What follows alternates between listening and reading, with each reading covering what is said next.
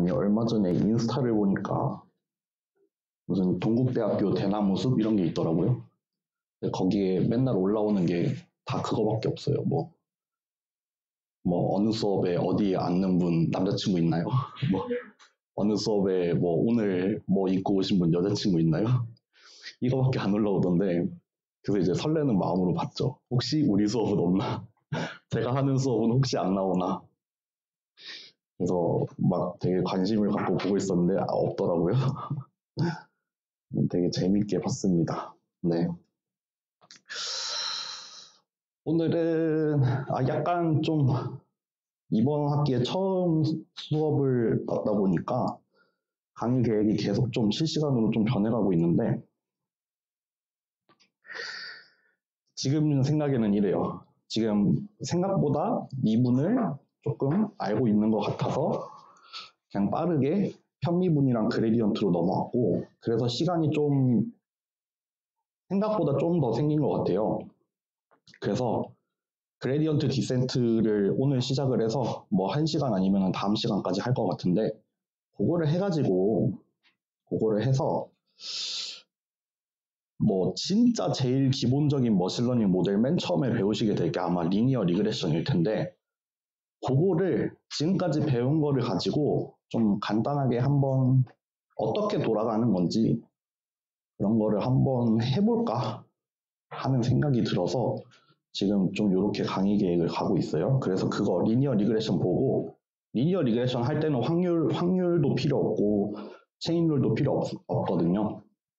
그래서 linear regression을 한 한 번 아니면 두 번 정도 해보는 걸로 하고 그 다음에 chain rule 넘어가서 backpropagation 다 하지는 못해도 뭐 layer 한두 개 정도 해가지고 이게 chain rule을 적용을 해서 이렇게 간다 이렇게 쓰인다. 그런 거를 살짝 맛보기를 해볼까 하고 있습니다. 확률은 제 생각에는 그렇게 선형대수나 미분에 비해서 만약에 선형대수, 미적분, 확률 통계 이거 세 가지가 필요하다고 하면은 확률 통계는 그렇게 깊이 있는 내용까지는 사실 필요 없는 것 같거든요. 우선순위가 제일 떨어지는 것 같아서 그게 살짝 밀리고 그것보다는 좀 더 이제 어, machine learning이나 deep learning 같은 거 조금 맛보기까지는 해볼 수 있게 좀 살짝 교집합을 만드는 것까지 해볼까 하는 생각을 하고 있어요. 네. 이렇게 흘러가는 중입니다. 네. 그래서 오늘은 어, 이제 좀 제법 중요한 내용이 다시 나오죠. 네. gradient descent를 한번 해보겠습니다. gradient descent 우리말로는 뭐 경사 하강법이라고 하죠. gradient descent라고 하는데 결국에는 뭐냐면은 얘는 일종의 최적화에 대한 방법이에요. 최적화 방법입니다. 최적화라고 하면은 어떤 주어진 함수가 있을 때 얘의 미니멈 아니면은 맥시멈 이런 거를 찾는 거 주어진 함수의 최대값이나 최소값 같은 걸 찾는 거를 우리가 최적화라고 하는데 그런 뭐 어떤 함수가 최대가 되는 지점, 최소가 되는 지점을 찾아 나가는 어떤 방법 중에 하나가 gradient descent예요. 그래서 되게 일반 일반적인 방법입니다. 일반적인 최적화 방법 중에 하나인데 머신러닝이나 딥러닝에서 상당히 많이 사용을 하고 있죠. 상당히 많이가 아니라 거의 거의 대부분의 학습 우리가 학습이라고 부르는 게 결국에는 어떤 함수를 잘 정의를 해요. 어떤 함수를 하나를 잘 정의를 해서 그거를 줄여나가는 거. 보통 줄여나가는 방향으로 정의를 많이 하는데, 어쨌든 그 잘 정의를 한 함수를 줄여 나가려고 하는 게 학습이 될 거예요. 차차 배우시겠지만. 그래서 사실 gradient descent가 뭐 여러 가지 분야에서 많이 쓰이지만, 머신러닝이나 딥러닝에서도 정말 많이 쓰인다. backpropagation도 사실은 gradient descent다. 단지 그거가 조금 특별한 구조일 때 이제 계산을 하는 방법을 잘 조직화를 해서 마치 어떤 거를 뒤로 전파시키는 형태로 바꿨을 뿐이지 backpropagation도 사실 gradient descent고 뭐 linear regression classification 이런 거 배우실 텐데 그것도 다 gradient descent고 뭐 support vector machine 이런 거는 아니지만 하여튼 대부분의 machine learning 알고리즘 전부 다 gradient descent로 돌릴 겁니다. 특히나 deep learning, neural network는 gradient descent죠. 네. 그래서 최적화를 하는 방법이라고 보시면 됩니다. 그런데 이 최적화를 이뤄나가는 과정, 예를 들어서 어떤 최소값을 찾아 나가는 과정에서 우리가 주로 사용을 하게 되는 게 gradient예요. gradient. 우리가 지난 시간까지 그렇게 열심히 gradient의 개념을 잡으려고 노력을 했던 이유는 이 gradient descent를 이해시키기 위해서 가는 중이었다고 생각을 하시면 될 것 같아요. 그래서 gradient descent 진짜 이거 한 페이지가 다예요. 이것만 이해하면 끝입니다. 이거 한 페이지가 다예요. gradient descent라는 게 어떻게 돌아가냐면은 예를 하나 가지고 시작을 해봅시다. 요런 함수, 우리가 진짜 많이 보고 있는 함수예요. 그 2차원에서 스칼라로 가고 있는 함수예요. 네, 요런 함수가 있어요. 그림을 그리자면 이렇게 생겼어요. 이렇게 빗살무늬 독이었죠. 그래서 여기 원점, 여기 원점이 있을 텐데 여기가 사실 최소값이죠. 왜냐하면 x1 제곱, x2 제곱이니까 얘도 양수, 얘도 양수인데 어차피 양수 더하기 양수가 제일 작아지는 지점은 얘가 0이 되고 얘가 0이 될 때가 최소라는 거를 사실 알고 있죠. 알고 있어요. 이거는 쉬운 함수니까 우리가 알고 있어요. 쉬운 함수기 때문에 이렇게 알 수 있지 사실은 못 구하는 경우가 많아서 그레디언트 디센트를 쓰는 거예요. 지금은 그냥 예를 드는 겁니다.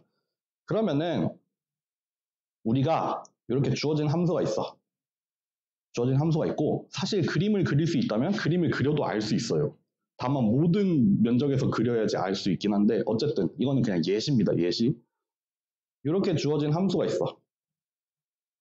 그리고 얘의 최소값을 찾고 싶어요. 얘의 최소값이나 아니면 최소가 되는 지점 이런 걸 찾고 싶어. 이런 걸 찾아 나가는 과정으로 우리가 gradient descent를 한번 사용을 해볼게요. 한번 사용해 볼게요. 어떻게 할 거냐면은 요거의 gradient를 우리가 일단 알고 있죠. 어떤 점이 주어졌을 때 gradient는 이렇게 2차원 벡터가 되는 거 알고 있어요, 여러분들. 그레디언트 디센트를 한번 해볼게요. 첫 번째, 일단 출발 위치를 정합니다. 출발 위치를 하나 정할 거예요. 하나 뭐 예를 들어 볼까요? 여기서 출발한다고 해볼까? 우리가 10,10부터 출발을 할게. 그래서 10,12, 10,10에서 출발을 해서 얘를 점점 옮겨가서 이 함수가 줄어드는 방향으로 조금씩 얘를 이동을 시켜볼 거예요. 이렇게 한 발짝 한 발짝 나가면서 이 함수의 최소값을 찾아서 조금씩 움직일 거예요. 그래서 맨 처음 출발 위치를 우리가 얘라고 정했다고 합시다. 10,10에서 출발을 할 거예요. 그럼 여기서 여기서 여기 한 페이지에다가 따로 그려볼게요. 1. 출발 위치를 정했습니다. 10,10에서 출발을 해요. 그럼 여기서 그레디언트를 한번 계산을 해요. 그레디언트를 한번 계산을 합니다. 얘를 계산을 하면 아까 2x였으니까 20,20이 나올 거예요. 그쵸? gradient 아까 여기 요거였죠, 요거. 두 배 하면 돼요. gradient는 20,20이에요. 그러니까 요 점에서 gradient를 화살표를 표현하라 라고 하면은 저 방향이에요, 저 방향. 함수가 저쪽 방향으로 제일 크게 증가하고 있죠. 그쵸?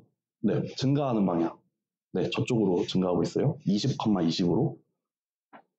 이때 우리는 어디로 이동을 할 거냐면 이렇게 1번이라고 쓸게. 첫 번째 위치니까 1번이라고 할게. 이제 한 발짝 움직일 거예요. 어디로 움직일 거냐면은 그레디언트의 반대 방향으로 움직일 거예요.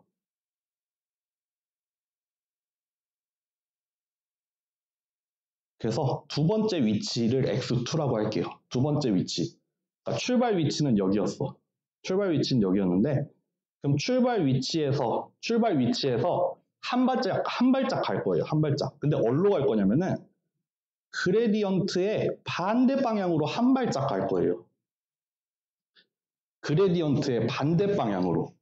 왜, 왜 그러겠어요? 그레디언트가 가리키고 있는 게 뭐였죠? 이 함수가 내가 지금 서 있는 이 지점에서 그레디언트가 가리키는 거는 이 함수가 제일 가파르게 증가하고 있는 방향을 가리켰어요. 근데 우리는 반대로 이 함수가 제일 작은 지점을 찾고 싶잖아. 그러니까 어느 방향으로 조금 움직일 건데 이왕이면은 그레디언트의 반대 방향으로 움직이면은 지금 이 시점에서 이 함수가 제일 가파르게 감소하고 있는 방향일 거 아니에요. 그레디언트의 정반대 방향이니까 거기로 한 발짝 갈 거예요. 한 발짝. 한 발짝이라고 하는 이유는 여기에다가 뭐 어떤 상수를 하나 곱할 겁니다. 이거는 한 발짝의 크기를 정할 거예요. 우리가 gradient를 계산을 하면은 벡터로 나오잖아요. 요거랑 dimension이 같은 벡터가 나오잖아요. 근데 한 발짝을 갈 때 뭐 예를 들어서 우리가 여기를 0.12라고 설정을 했다고 합시다.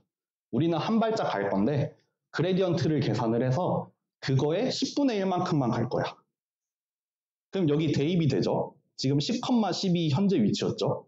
우리 지금 10,10이었고 10,10에서 계산을 한 그레디언트가 20,20이었어요. 그거의 10분의 1만큼만 반대로 갈 거야. 계산이 되죠? 8,8이요. 8,8로 한 발짝 옮깁니다. 그레디언트의 반대 방향으로 한 발짝 갔어요. 그림으로 그리자면 뭐예요? 여기였어요. 출발 지점 여기였어. 그레디언트 계산했더니 저거였어. 그레디언트의 반대 방향 여기죠? 근데 그대로 가는 건 아니고 이렇게 좀 한 10분의 1 정도로 줄여서 한 발짝 움직였어요. 이제 두 번째 점 8,8입니다. 아까 첫 번째 출발했던 것보다 조금 가까워졌어요. 조금 더 가까워졌어. 이거를 반복하면 돼요. 반복. 이거를 반복을 합니다. 이 새롭게 변화된 위치에서 다시 gradient를 또 계산을 해요. 우리가 한 발짝 옮겨왔잖아. 그럼 거기서 또 gradient 한번 다시 계산해야 되죠. 지금 이제 위치가 바뀌었으니까 gradient가 달라졌을 거란 말이야. 거기에서 또 gradient를 다시 봐요. 어디가 제일 가파른가? 어디가 제일 가파르게 감소하나? 그럼 거기로 또 한 발짝 갈 거예요. 해볼까요? 뭐 루프를 도는 거지만 사실 똑같은 걸 한번 해볼게요. 그레디언트를 계산합니다. 어디에서? 지금은 x2점이죠. 그럼 16,16이 되겠죠? 지금 현재 현재 위치 여기잖아요. 8,8. 그레디언트는 이제 16,16이에요. 아까 첫 번째 위치에서는 20,20이었죠. 이번엔 16,16으로 바뀌어요. 그리고 또 한 발짝 나가요. 그 x3는 지금 위치에서 0.1만큼 곱하는데 그레디언트 방향의 반대로 한 발짝 나갈 거다. 그러면 지금 8,8에서 출발을 해서 마이너스 1.6, 1.6 빠지겠네요. 그러면 얼마야? 6.4, 6.4 되겠죠. 그 다음 위치는 6.4, 6.4가 됩니다. 여기가 되겠죠. 또 한 발짝 이동을 해서 뭐 한 여기쯤 올 거예요. 지금 여기. 여기서 출발을 해서 여기서 gradient 계산해서 한 발짝 움직이고 또 여기서 gradient 계산해서 한 발짝 움직였어요. 이렇게 짬짬이로 계속 갈 거예요. 한 발짝 가서 gradient 보고 반대 방향으로 내려가고 또 거기서 gradient 보고 반대 방향으로 한 발짝 가고 또 가고 가다 보면 언젠가 여기까지 갈 수 있지 않을까라는 희망을 가지고 하는 게 gradient descent예요. 사실 설명 다 했네. 설명 다 했어요. 이게 gradient descent입니다. 우리가 gradient만 잘 이해하고 있으면은 뭐 별달리 설명할 것도 없어요. 그죠? gradient 제일 가파르대매. 그러니까 그 반대 방향으로 가서 최소를 만들어 보자. 다시 아까 그 맨 처음에 보여드렸던 그 페이지 가볼게요. 조금 그냥 일반적으로 써놓은 거예요. 일반적으로 써놓은 거예요. 우리가 뭐냐면은 어, 찾고 싶어요. 뭐를 찾고 싶은 거냐면은 주어진 함수를 뭐 이렇게 쓸까? 주어진 함수를 최소로 만드는 어떤 점을 찾고 싶은 거예요. 목적이라고 하면. 주어진 함수를 최소로 만드는 지점을 찾고 싶어요. 그거를 어떻게 할 거냐면은 일단 초기화를 한번 해요. 그러니까 우리가 뭐 설정한 초기 위치. 여기는 그냥 특별히 x에다 별을 달아놨어요. 우리가 초기 위치는 하나 잡아야 돼요. 초기 위치 하나 잡고 시작해야 돼. 뭐 랜덤으로 잡아도 되고 뭐 그냥 적, 적절히 개스를 해도 되고 상관없는데 어쨌든 초기 위치는 하나 던져주고 거기서부터 출발을 해야 되죠. 초기 위치가 하나 필요합니다. 초기 위치가 주어진 다음에는 요거를 반복을 할 거예요. 이거 그냥 계속 반복해요. 뭐 여기는 뭐 적절히 수렴할 때까지 반복이라고 했는데 뭐이이 루프에서 빠져나가는 조건은 우리가 뭐 설정하기 나름입니다. 뭐 충분히 많이 돌았으면 멈춰도 되고 아니면 뭐 어떤 조건을 만족했을 때 멈춰라 라고 하는데 뭐 그냥 일반적으로는 충분히 수렴을 해서 더 이상 움직이지 않을 때 그때까지 이거를 반복해라 이거예요. 뭐예요? 현재 위치, 그러니까 K번째 루프라고 할게요. 우리가 몇 번째 루프를 돌고 있는지를 K라고 썼을 때 일반적으로 그럼 현재 위치에서 gradient를 한번 계산을 하고 그 gradient의 반대 방향으로 반대 방향으로 가야 돼요. gradient의 반대로 가야 돼요. 반대로 갈 건데 그냥 그걸 그대로 넣는 게 아니라 여기 스칼라를 하나 곱해서 우리가 한 번에 갈 보폭을 좀 정합니다. 이 gradient를 뭐 10분의 1만큼 가라, 100분의 1만큼 가라, 1000분의 1만큼 가라. 보폭을 하나 정해놓고 한 발짝 한 발짝 가는 거예요. 현재 위치에서부터 gradient의 반대 방향으로 한 발짝 한 발짝. 그래서 위치를 업데이트해요. 지금 현재 x 값을 업데이트해요. 그럼 다시 1로 돌아가요. 그 새로운 위치에서 gradient 또 구하고 거기서 한 발짝 더 가고 또 gradient 구하고 한 발짝 가고 gradient 구하고 한 발짝 구하고 이거를 계속 계속 계속 반복을 하는 겁니다. 그래서 중요한 거가 몇 가지가 있는데 아 여기 여기 여기서 얘기합시다. 아 요거부터 얘기합시다.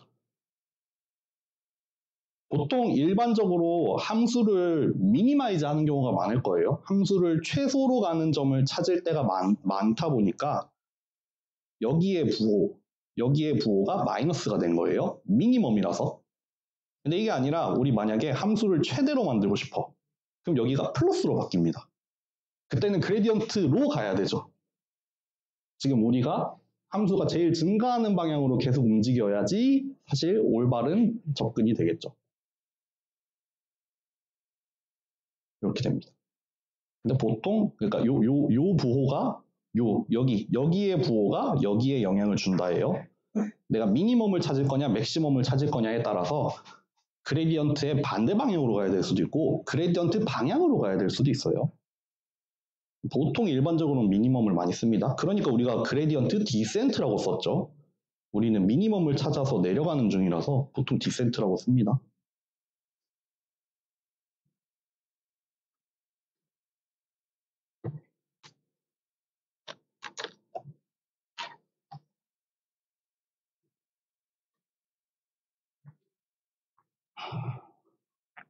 해볼게요.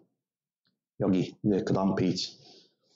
gradient descent는 중요한 특징들이 있습니다.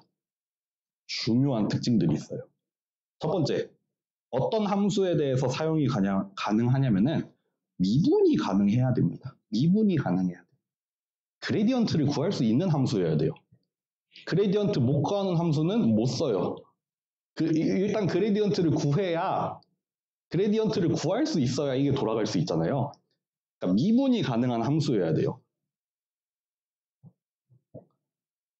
뿐만 아니라 미분이 가능한 함수는 보통 어떻게 생기냐면은 뭐 이렇게 생겨요. 이런 식으로 생길 거예요.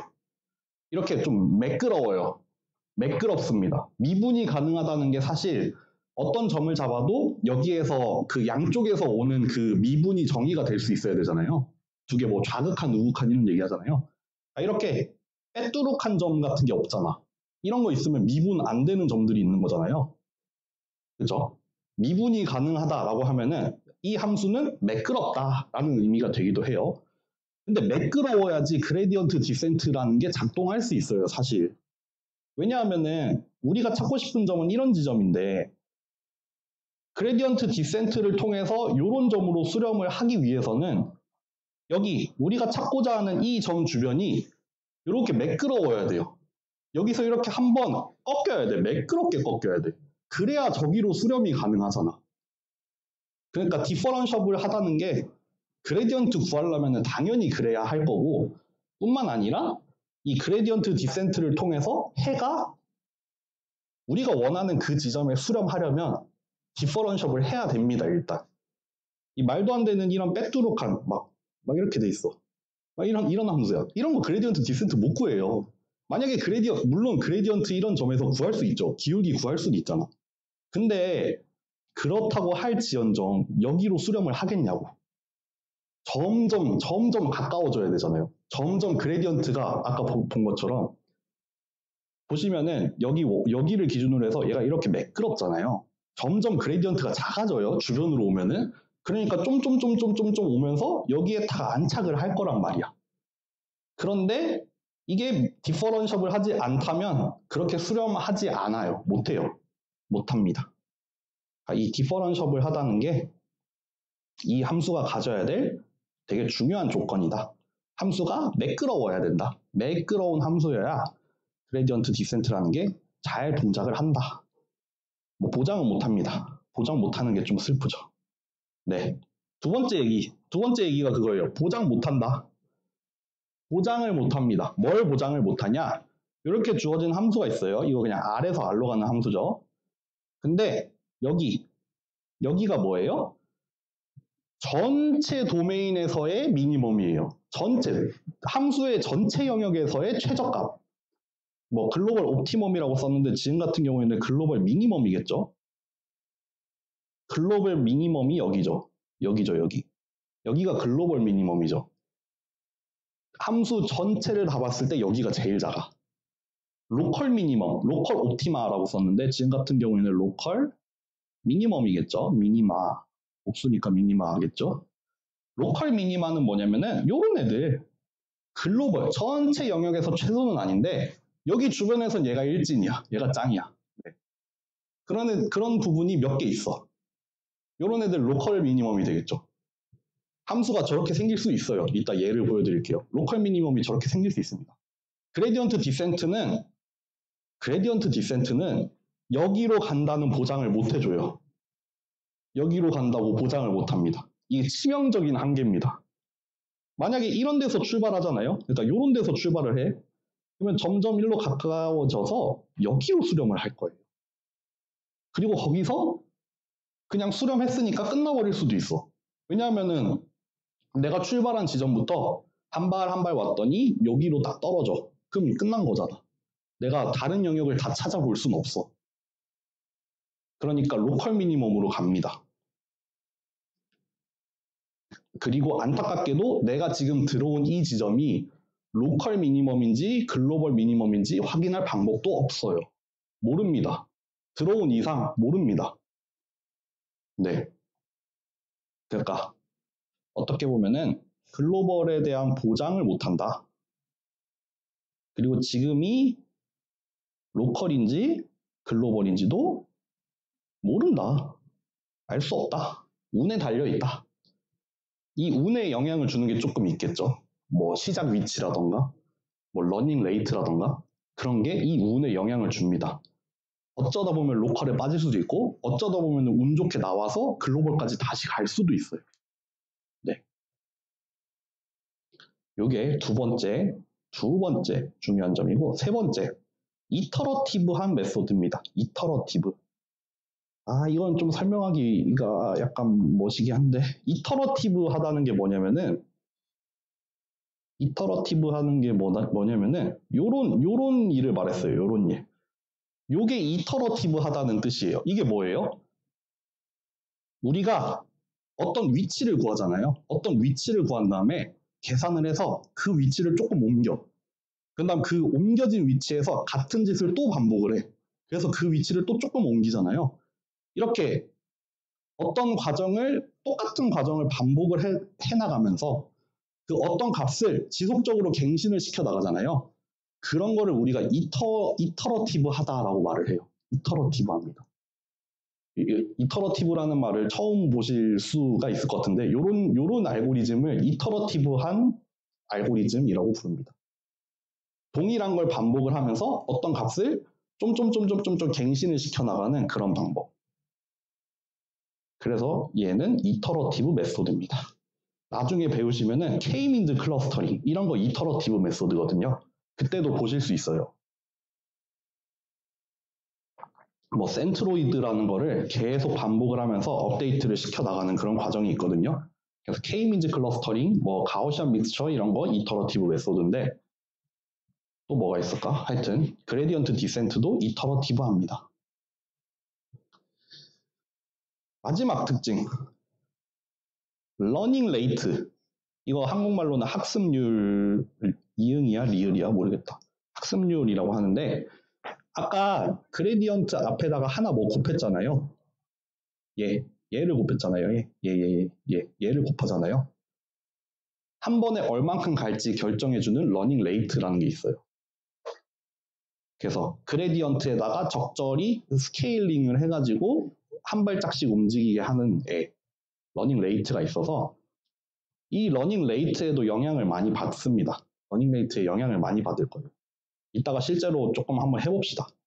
그러니까 learning rate가 크다고 하면은 한 번에 성큼성큼성큼 움직이겠죠? 그러니까 좀 빨리 갈 수는 있을 거야. 대신에 지나칠 수 있어요. 우리가 도착해야 되는 그 지점을 아까 하나 예를 들어볼까요? 요거야. 요거 한 페이지 추가해 봅시다. 내가 learning rate가 커. 여기서 뭐 여기서 출발을 해. learning rate가 커. 그 다음 지점이 여기 찍힐 수도 있어요. 그러면 또 일로 가. 그 다음에 또 일로 가. 일로 가. 막 이렇게 가면서 이렇게 우왕좌왕 할 수도 있어요. learning rate가 크면 너무 크면. 그러니까 learning rate가 크다라고 하면은 일단 빨라요. 한 번에 성큼성큼 움직이니까 빨리 갈 수 있어. 대신에 지나갈 수 있어. 내지는 우왕좌왕 할 수도 있어. 그럴 확률이 높겠죠. 한 번에 너무 많이 가니까. learning rate가 낮다면은 느려요. 대신에 천천히 잘 가겠죠. 뭐 조금씩 조금씩 수렴을 하겠죠. 뭐 똑같은 위치였어도 learning rate가 작았어. 그럼 이렇게 갈 거야. 여기 갔다가 여기 갔다가 여기 갔다가 이렇게 막 쩍쩍쩍쩍쩍 갈 거예요. 되게 쫌쫌쫌쫌 갈 거야. 대신에 굉장히 조심스럽게 갈 거야. 그래서 learning rate가 그런 걸 결정할 수 있다. 중요한 파라미터 중에 하나다. 네. 그래서 gradient descent 쓰는 모든 알고리즘 보면은 learning rate 설정하는 옵션이 있을 겁니다. 네. 아, 이것도 뭐 나중에 얘기할 텐데, learning rate가 크면은 또 가끔 얻어 걸리는 경우가 뭐가 있냐면은, local minimum에서 빠질 수도 있어요. 가끔 운 좋으면. 왜냐하면은 우왕좌왕 하잖아요. 한 번에 팍팍팍팍 가니까, learning rate가 너무 낮으면은 local minimum 빠지고 그냥 거기서 끝날 수도 있는데, learning rate가 크면은 가끔씩 왔다 갔다 하다가 이 고개를 넘어갈 수도 있어요. 운 좋으면. 가끔 운 좋으면. 그럴 확률이 조금 올라갈 수는 있겠죠. 네. 그렇게 gradient descent 요거 설명 끝났습니다. gradient descent 요 두 페이지면 설명 끝나고 와, 조금 쉬었다가 뒤에 몇 가지 예제를 들고 왔거든요. 그거 하고 오늘 끝낼게요. 일단 좀만 쉴게요. 이거 1차원 버전으로 한번 설명해 볼게요. 1차원 버전을 할까 말까 계속 고민을 했는데 1차원 버전으로 설명하면 이거죠. 그러니까 스칼라에서 스칼라로 가는 함수가 있기 때문에 이렇게 그래프로 그릴 수가 있을 거예요. 그럼 여기는 이제 그레디언트가 아니라 그레디언트가 아니라 사실 기울기라는 개념으로 나올 거예요. 그럼 여기가 출발점이겠죠. 여기서 출발을 해볼게요. 여기서 출발을 했더니 여기서 출발을 했더니 뭐 그래프가 이렇게 나왔나 봐. 여기서의 기울기가 뭐 4가 나왔대. 기울기가 4야. 그럼 이 말인 즉슨 여길로 가면은 내가 한 발 움직일 때 이 함수는 4배로 증가를 할 거다라는 말이잖아요. 그러니까 나는 그거랑 반대로 한 마이너스 4 정도 갈 거야. 여기에서의 기울기가 4니까 뭐 마이너스 4 내지는 여기에 에타 곱할 거면은 마이너스 4 에타 뒤로 갈 거야. 가 되겠죠. 여기서 또 구해봐요. 기울기가 한 2 나왔어. 아까보다 가파르진 않아. 그러니까 가파르지 않다는 거는 어쩌면 조금 더 가까워졌을 수도 있다라는 말이잖아요. 왜냐면 디퍼런셜을 하니까. 그러니까 지금은 아까보다는 조금 덜 갈 거야. 그래서 마이너스 2 정도 갈 거다 이거죠. 그래서 여기로 옮겨질 거고 여기서 또 계산을 했더니 뭐 한 0.5 나와. 그러면 진짜 또 조금 가겠죠. x4는 한 마이너스 0.5 에타 이렇게 갈 거예요. 기울기 스칼라 버전으로 설명하면 이거일 거예요. 여기 여기 점에서 기울기를 구해보고 그거의 반대 방향으로 이동을 하겠다 이거죠. 또 만약에 여기가 만약에 출발점이 여기가 아니었어. 출발점이 여기가 아니라 이번에는 뭐 이런 데서 출발을 했다 쳐. 이런 데서 출발했다 쳐. 여기가 우리의 x1이었어. 내 기울기가 한 마이너스 3 정도 나왔어.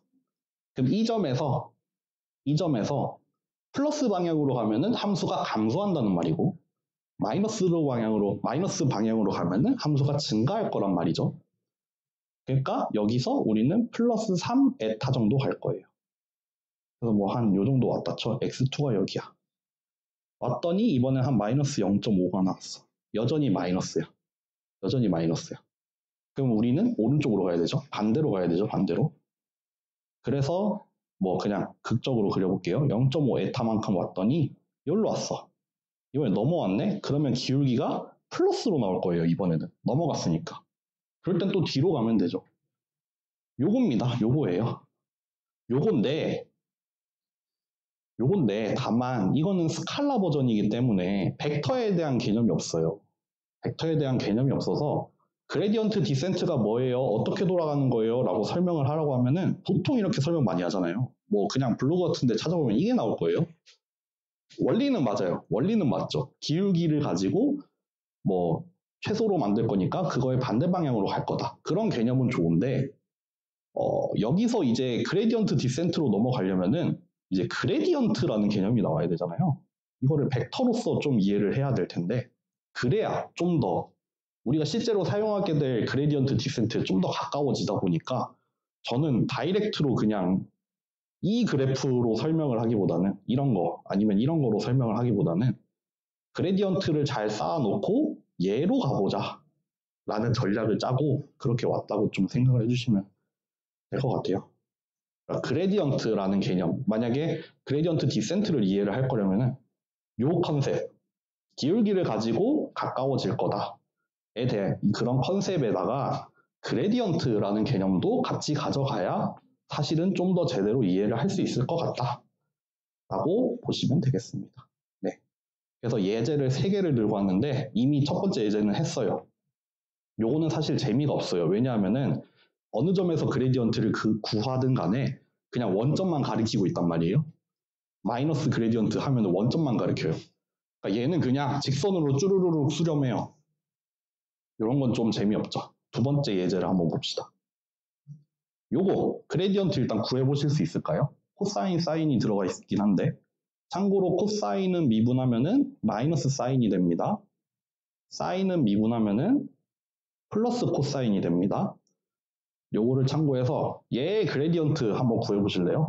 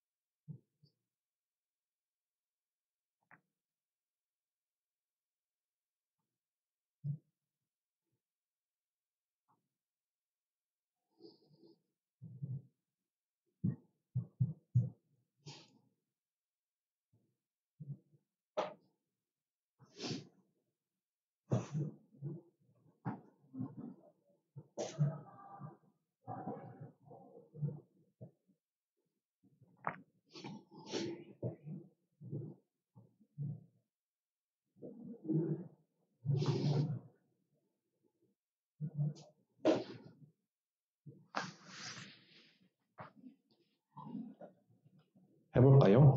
해볼까요? 되셨나요? 요거를 먼저 x1으로 미분을 하면은 마이너스 사인 3x1인데 합성함수니까 요거를 한 번 더 미분을 해서 곱해야 되죠. 그러니까 여기는 마이너스 3 사인 3x1 나올 거예요. 그리고 2x1 요거 나오겠죠. x1 미분. X2 미분하면은 2 코사인 2x2 더하기 2x2 이렇게 나오겠죠. 그래서 요게 그레디언트가 될 겁니다. 그레디언트도 역시 x1과 x2에 대한 함수죠. 그쵸. 걔를 그림을 그리면 이렇게 생겼대요.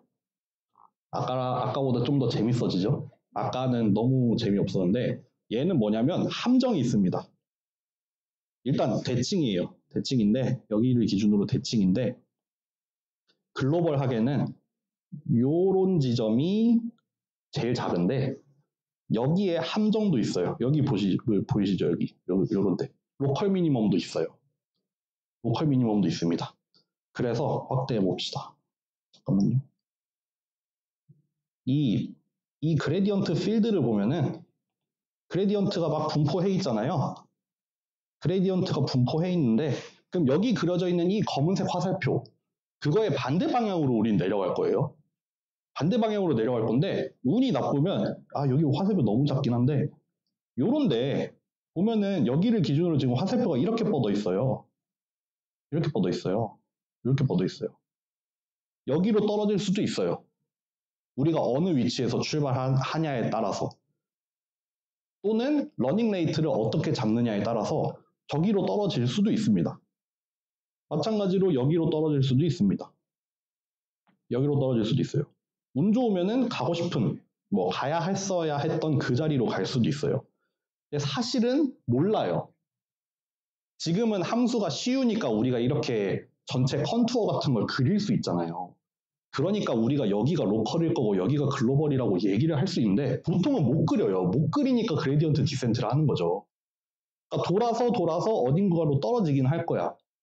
근데 그게 local인지 global인지 몰라요. 사실 모릅니다. 지금은 그래프를 그릴 수 있으니까 우리가 그냥 왈가왈부하고 있을 뿐이지 사실은 모릅니다. 그래서 실제로 그레디언트 디센트를 적용을 한 거예요. 그래서 여기서 출발을 했더니 운 좋게도 여기까지 가서 이렇게 떨어졌네. 그거를 보여주는 건데 어 잠시만요.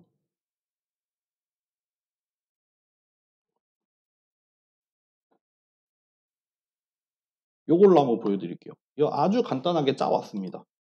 요거잖아, 요거. 여러분들 Python을 조금 아신다면은 어, 여기 이 코드예요, 이 코드.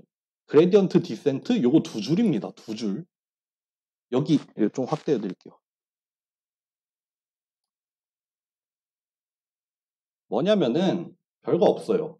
별거 없어요. 초기 위치 잡을 거야. learning rate 골라 놓을 거야.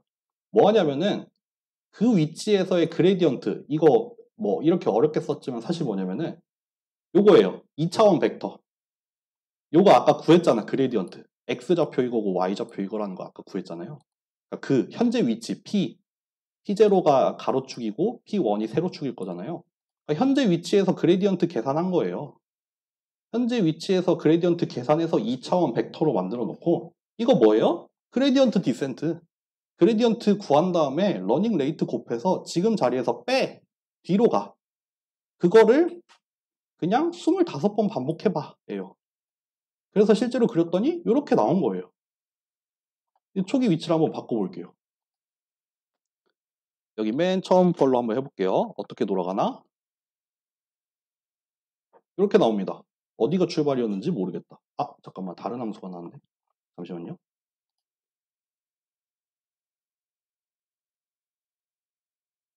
다시 돌릴게요. 뒤에 함수 이렇게 나왔어요. 아 이번에는 여기서 출발해서 절로 간 것 같아. 이번에도 운이 좋았네요.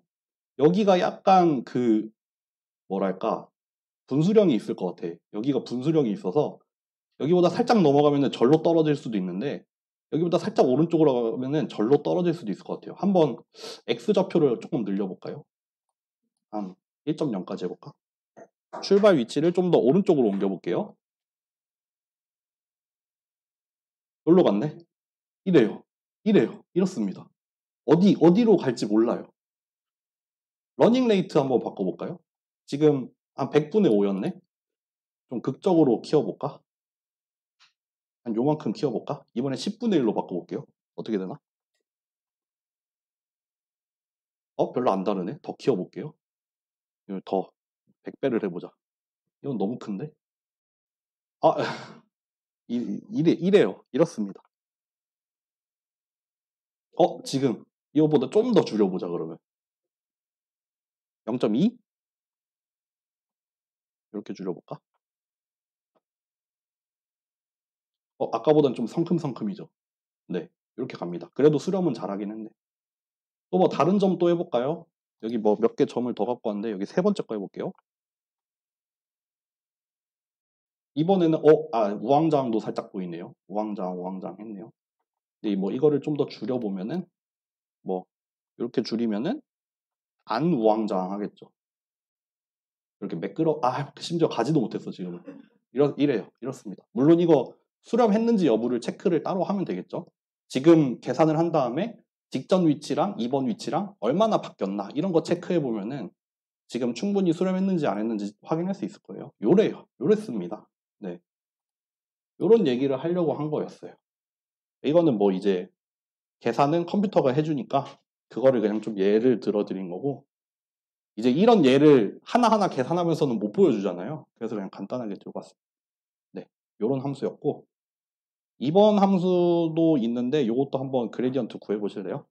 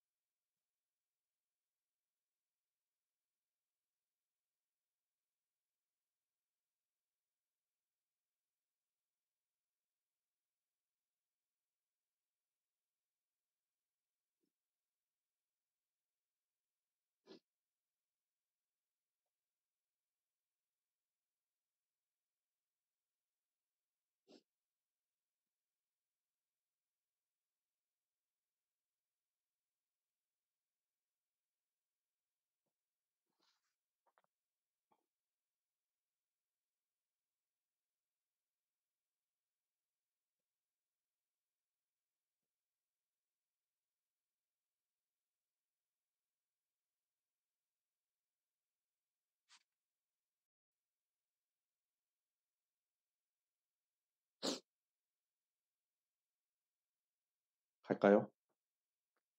x1으로 미분해 볼게요. 코사인 x1 더하기 x2 더하기 2x1 빼기 x2 곱하기 1 할 거고 1.5 요게 첫 번째 미분일 거고 두 번째 미분 코사인 x1 플러스 x2 똑같고 여기 여기 2x1 빼기 x2인데 여기 안에 있는 거 미분 한번 해서 곱해야 되니까 이렇게 바뀔 거예요. 그리고 2.5 이렇게 튀어나올 거예요. 이게 그레디언트입니다. 이것도 역시 x1, x2에 대한 함수죠. 이렇게 생겼습니다. 그림을 그리면 이렇게 생겼어요. 이렇게 생겼습니다. 얘는 뭐냐면 밑에가 좀 평평해요. 밑에가 좀 평평해서 예, 정확히는 잘 모르겠네. 여기 여기 어디 안에 글로벌 뭐 글로벌하게 미니멈이 있긴 있어요. 있긴 있는데 지금 보시면은 아시겠지만 이 약간 골짜기처럼 생겼잖아요. 골짜기처럼 생겨서 요런 컨투어가 나오잖아. 지금 여기 안으로 들어가면은 여기 안으로 요 영역쯤 들어가면은 그 자리에서 머무르지 거기에서 여기까지 내려가게 해줄 경사는 없어요. 그러니까 무슨 말이냐면은 이런 데서 시작을 해. 그러면은 가파르니까 이렇게 떨어지는 거는 되게 강할 거야. 근데 이렇게 가지는 않아요. 경사가 여기가 여, 기가 여기가 이렇게 계곡이 있어요. 계곡. 계곡이 있다 보니까 도착하고 싶은 데는 여기인데 이 이게 양옆으로는 되게 가파르기 때문에 그쪽으로는 화라락 떨어지는데 그 다음에 여기에 오고 나서는 거의 안 움직입니다. 못 움직입니다. gradient가 없어서 경사가 없어서 그런 양상이 보여지는 겁니다. 그러니까 contour를 보면은 여기서는 등고선이 촘촘하게 나타났잖아요. 경사가 급하다는 얘기죠. 근데 이제 여기서 이런 부분 이게 분명히 contour를 동일하게 자른 걸 텐데 그 같은 높이 차인데 심지어 이렇게 멀리 떨어져. 되게 멀, 멀, 멀다는 거죠. 완만하다는 거죠. 그만큼. 그러니까 그런 문제가 보입니다. 그런 문제를 한번 봅시다.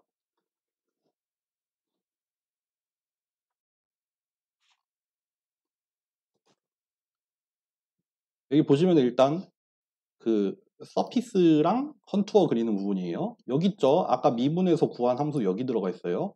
코사인 x 플러스 y 빼기 2x 요거 하고 뭐 요거 하고 그렇게 해서 구한 다음에 이렇게 뭐 surface도 그려보고 contour도 그리고 vector field도 그리고 하면 이렇게 나와요. 이렇게 나옵니다. 그래서 gradient descent를 합니다. 아까랑 똑같아요. 그냥 좀 더 편하게 이거 너무 길어져서 그냥 좀 바꿨어요. 현재 위치의 첫 번째 값을 x, 두 번째 위치를 y라고 해놓고 gradient의 첫 번째 값 이렇게 계산하면 되죠. gradient 두 번째 값 이렇게 계산해요. 그럼 벡터 만들었죠? 요거 하면 gradient descent죠. 아무것도 없어요. 이거 이거는 그냥 저기 밑에 빨간색 궤적 보여주려고 그냥 값들 쌓아놓는 거지. 이거는 gradient 돌아가는 거랑 아무 상관없어요. 그 for문은 그냥 돌려놨어요. for문은 그냥 돌렸습니다. 뭐 한 10바퀴만 해볼까? 10바퀴 하고 시작 지점 여기고 learning rate 이거예요. 해볼게요. 요래요. 여기서 출발해서 여기까지 갔네. 여기서 이제 많이 못 움직이죠. 여기 여기 지금 X로 표시를 한 게 한 걸음이에요. 여기는 되게 가파르니까 한 번에 팍팍 움직여요.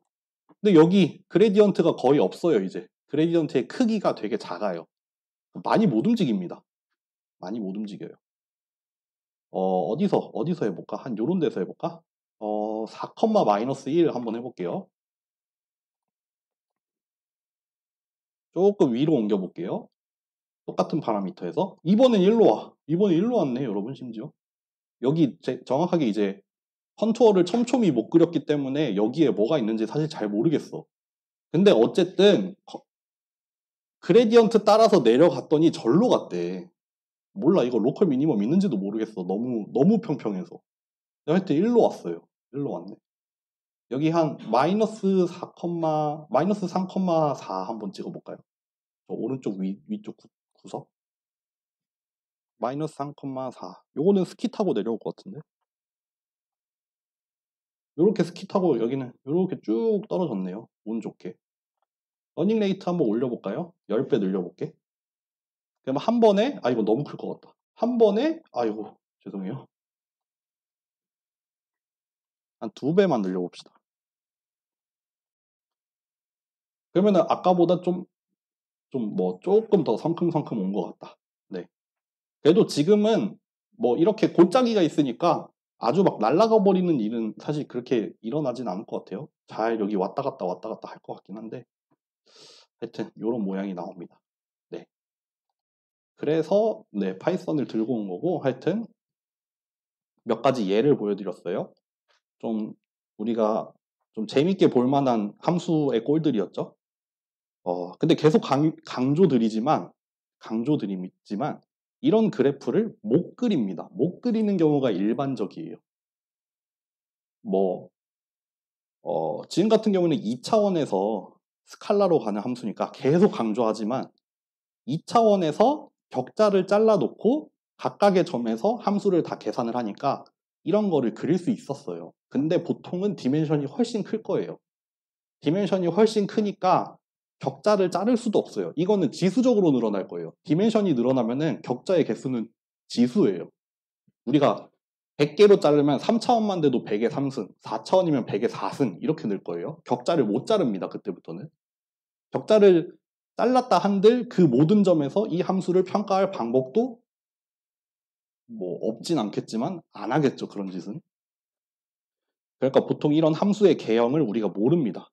모르기 때문에 gradient descent를 쓰는 거고 그리고 항상 계속 gradient 때도 얘기했지만 이 dimension이 늘어나도 이 dimension이 늘어나서 그냥 D 디멘션이 돼도 gradient descent에도 달라지는 점은 없어요. 그림을 못 그릴 뿐이에요. 그림을 못 그릴 뿐이지 뭐 x라는 애가 10차원이야. 근데 얘가 뭐 함수가 이렇게 주어졌어. gradient 구할 수 있잖아. 요거잖아. 그러면 gradient descent도 구할 수 있어요. 이렇게 구하면 돼요. 이게 10차원이고 이게 10차원이고 업데이트를 10차원에서 할 뿐이지 gradient descent는 dimension이랑 아무 상관없습니다. 네. dimension에 대해서 좀 자유로워지셔야 됩니다. 이거 뭐 풀어서 쓰면 x1제곱, x2제곱 해가지고 뭐 x10의 제곱일 거 아니에요? 이거 gradient 구할 수 있어요. 이게 그냥 엄청 길 뿐이지. 이렇게 해가지고 이렇게 내려가 있을 뿐이지 그레디언트 업데이트 계속 할 수 있습니다. 네. 하여튼 그거를 잘 명심을 하시고 그러면은 오늘은 여기까지 하겠습니다. 감사합니다.